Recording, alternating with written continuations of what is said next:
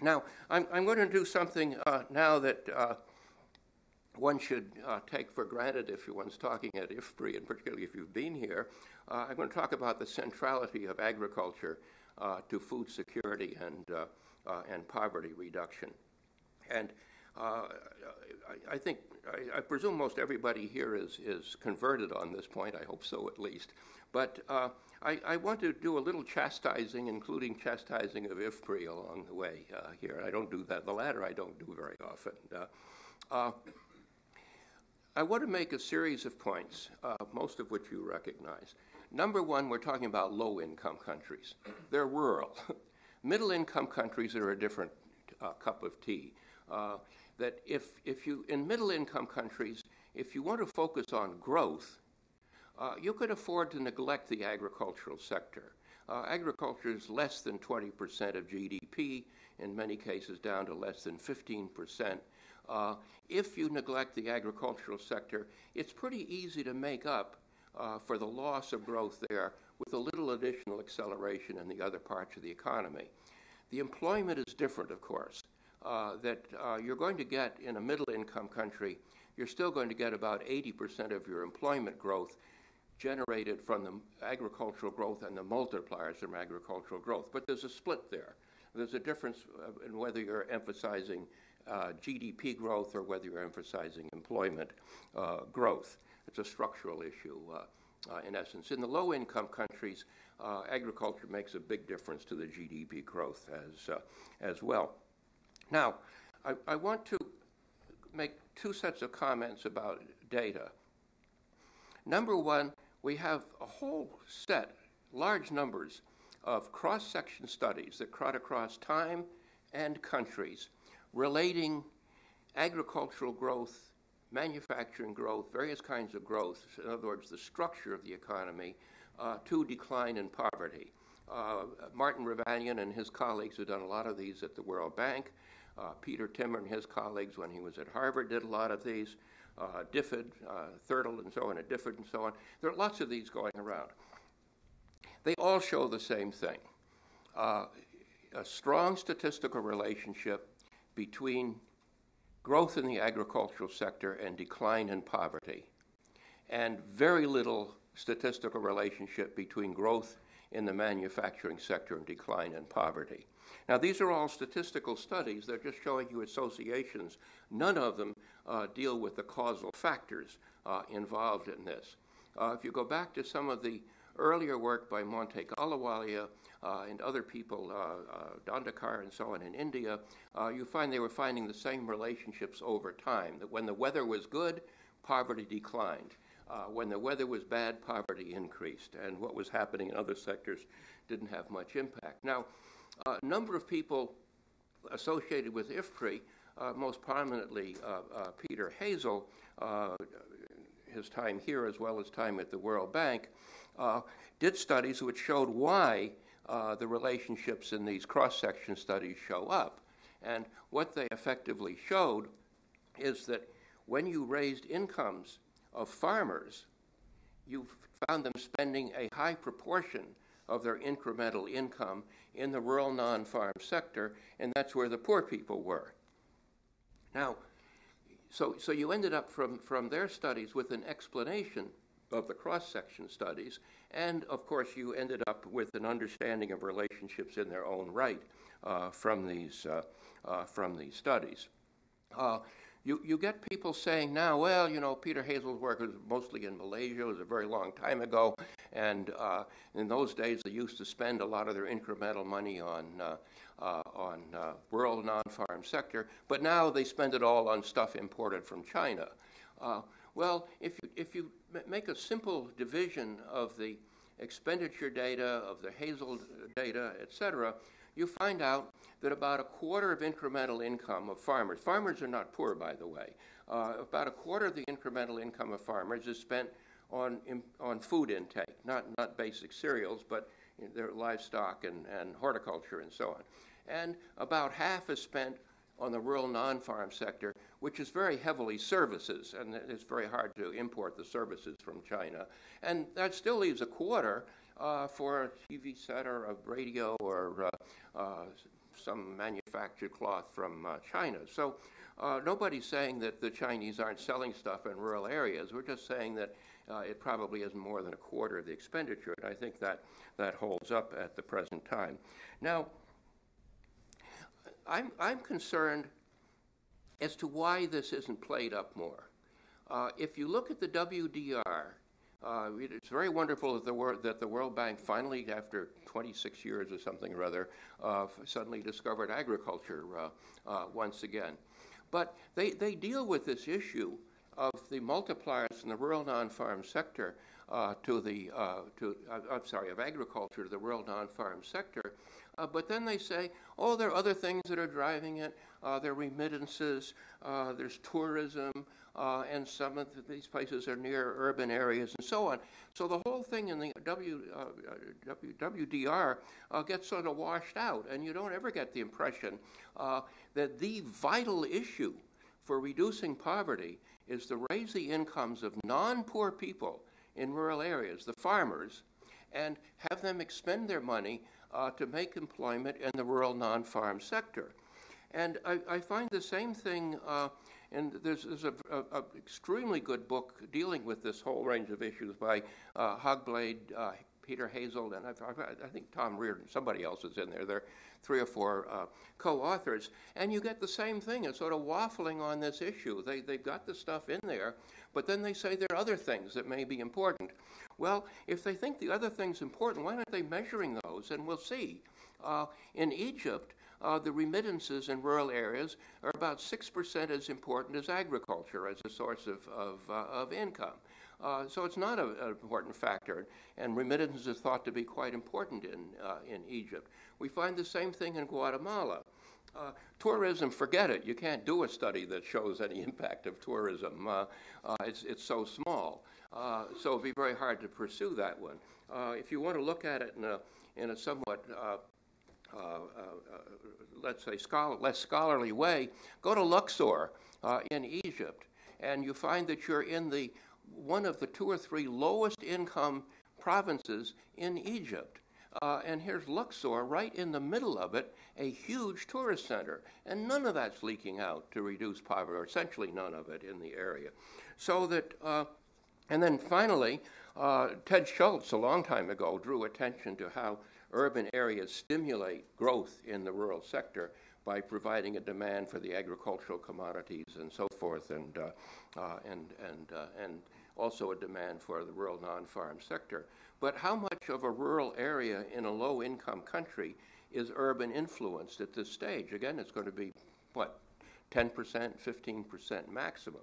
So that uh, I, I really fault strongly uh, IFPRI and the World Bank uh, for not coming down hard as to what the dominating driving force is in this uh, poverty reduction in low income uh, countries. Now, I, I, just want to say a couple of quick things on how you accelerate agricultural growth, and I'm going to come back to the main theme uh, that, that's supposed to be driving this. I, I just want to make a simple point on agricultural growth. It's all private sector. The farmers are private sector, all those businessmen out there that are doing marketing and selling fertilizer and so on are private sector. This is private sector at its ultimate. It's mostly small scale private sector. Not only are farmers small scale, but all these marketing agencies, the fertilizer distributors, they're all small, they're all small scale. They need public goods to support what they're doing so that the critical things that have to be done in the agricultural sector are public goods provision. We know what they are. Science is what drives agricultural growth. So you need to build science, which means research institutions. You need to build extension programs. You need to do it on a national scale. And this means that the public sector has to play an important role. And when people say to me in Afghanistan, oh, it's old fashioned to do extension in the, in the uh, uh, in the public sector. They don't do we don't do it in the United States anymore. Well, I heard that and I called up my a friend of mine who uh, at that time was director of extension in uh, Iowa, and I said, "Hey, I hear you guys are going out of business." Uh, well, it turns out it's not quite true. We still have an extension program in this country, and farmers rather like it, even though an awful lot of extension is in the private sector at the present time, but not in Afghanistan, for goodness sakes. Uh, infrastructure. Uh, think one can talk about a, a toll, private sector toll highway from uh, Delhi to Mumbai uh, Mumbai uh, or to Madras or, or, Chennai or what have you, but not rural roads. Uh, so again, you have a big pu- public sector requirement. Huge need for farmers' organizations if you're going to have agriculture growing rapidly. Far more necessary now than it was 20 years ago because now the perishables, the livestock and the horticulture, are a much larger share of ag GDP than they used to be and the traditional marketing uh, systems aren't working very well there uh, for a variety of reasons. So that farmers' organizations are important. As long as you're doing aid as little discrete projects, you can then talk about your aid contractor setting up a credit system there that somehow looks like a private sector system, but not when you're talking about covering 80% of the farmers, never mind 100%, but talking about covering 80% of the farmers in a country, the government has to play a role in that, as it did in the United States. Uh, the whole farm credit system in this country uh, was started by the government with government money and government bureaucrats. Very important principle. Right from the beginning, it was to become farmer owned, which means that farmers would displace the government capital, and farmer managed, which means the farmers would elect the boards and so on. And that got done fairly quickly in this country, and it doesn't get done very quickly in most developing countries. And finally, uh, there's a need for policy, and policy is a lot more than wheat price policy.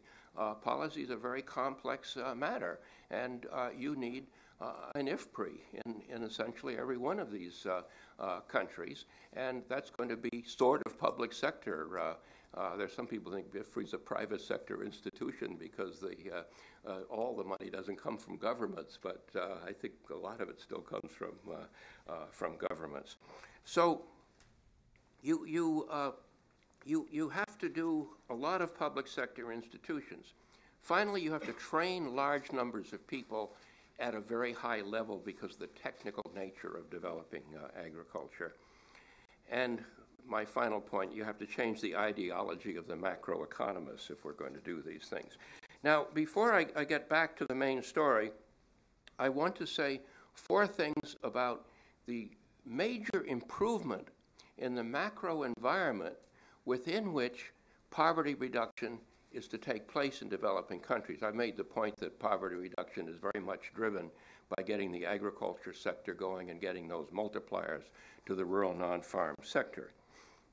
So the fact that we're not doing well in low income countries uh, is despite the fact that the conditions within which we operate in the macro environment are more favorable than they used to be. And I, I want to note four things. Number one, we seem to have a significant, probably permanent, not, not permanent where it was six months ago, but probably permanent improvement in the terms of trade uh, for major agricultural econ- uh, uh, commodities. Keep in mind that a high proportion of the low income countries are in sub Saharan Africa. I, I, remember a number of years ago, uh, somebody asked me, uh, uh, You know, you're so negative about Africa. Aren't there any success stories? And I said, Yeah, there's a huge success story. What? Malaysia. Malaysia is a great success story, and it's basically an African country. Uh, the upland soils are all like the up, rolling upland soils of West Africa.